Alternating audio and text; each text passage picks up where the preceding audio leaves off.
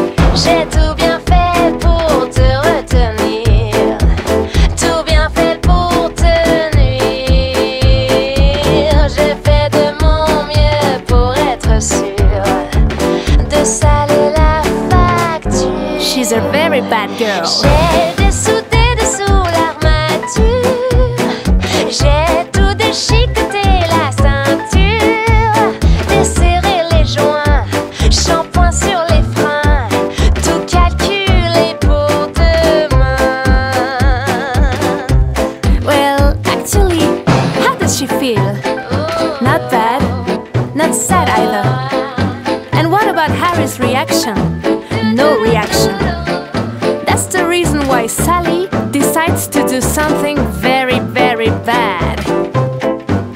Act 2 J'ai tout essayé